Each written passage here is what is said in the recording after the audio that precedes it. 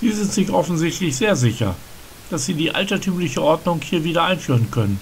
Sie wollen wieder bestimmen, wer dazugehört in den verschiedenen Gesellschaftsgruppen. Und auch einen, einen männerbestimmenden Familienepos wollen Sie.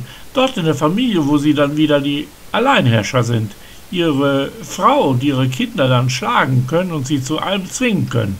Wo Sie Ihre Frau unbestraft vergewaltigen können und überhaupt wollen sie eine militärisch organisierte Gesellschaft. Mit autoritären herrischen Befehlstönen. Niemand kann dann noch sein Recht einklagen, denn dann leben wir nicht in einem Rechtsstaat oder einer Demokratie. Nein, wir werden wieder das Recht des Stärkeren haben. Und auch sagen schon einige alte Nazimänner, nur wer arbeitet, der hat ein Recht zu überleben.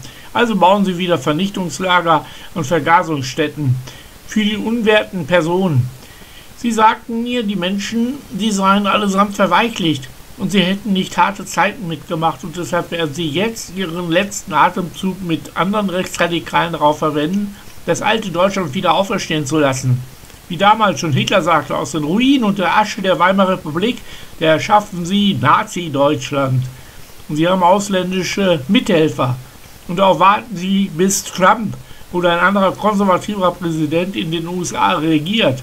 Denn eine Diktatur soll die Demokratien des Westens ablösen. Und eine Diktatur der konservativen Rechtsradikalen soll aus der Asche der Länder wie damals erschaffen werden. Auch das erzählten sie mir. Heute schon konservative Mächte. Sie sind sich sicher, dass sie unbestraft vergewaltigen dürfen und Personen schlagen dürfen und auch Personen ermorden dürfen. Sowie sie auch Schlimmeres unbestraft machen dürfen. Denn sie sind die Herrenmenschen. Trump erzählte davon, was er alles unbestraft machen kann. Mir wurde gesagt, weil ich solche Gelüste und Bedürfnisse nicht habe, dass ich kein richtiger Mann wäre.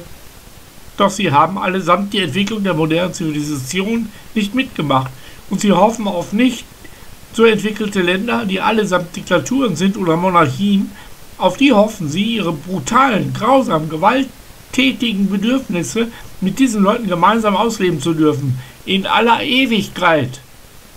Ich mache dort nicht mit.